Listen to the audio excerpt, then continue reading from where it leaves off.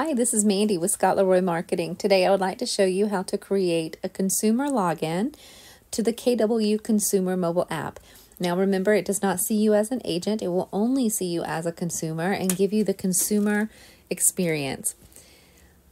To get to this screen, you will have either gone to your app store and downloaded the KW mobile app directly, or you may have clicked your KW app link that is branded specifically to you. Either way, this will bring you to this particular screen that you see here. And now you would want to create that consumer login. So you can click the sign up button. It will ask you to enter your first and last name and then also an email address.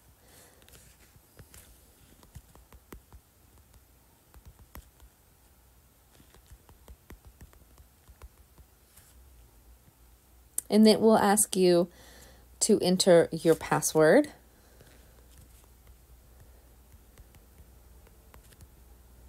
This is for demo only.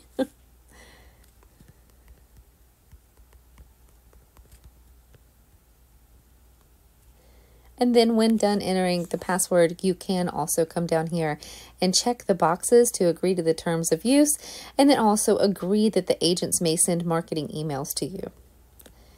Once you've agreed to both of those boxes, you can create the account.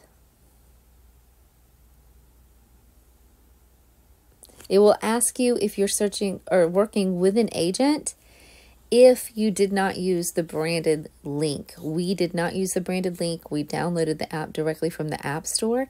And so that is why we are getting this prompt right here. I could touch anywhere on my screen just to get past that. You can see that the welcome screen says Welcome Scott to my personalized dashboard. And that is how you create a consumer login. If you just want to make sure that it's branded to you as a particular agent, you can always tap on the bottom right hand corner, the little person, and see where it says find a local KW agent. This is not branded to a particular agent. If it was, the agent's information would populate right there with the name and photo already. If you have any questions at all about how to create that consumer account, please reach out to us at support at scottleroymarketing.com and we'll be happy to assist you. Thanks for watching.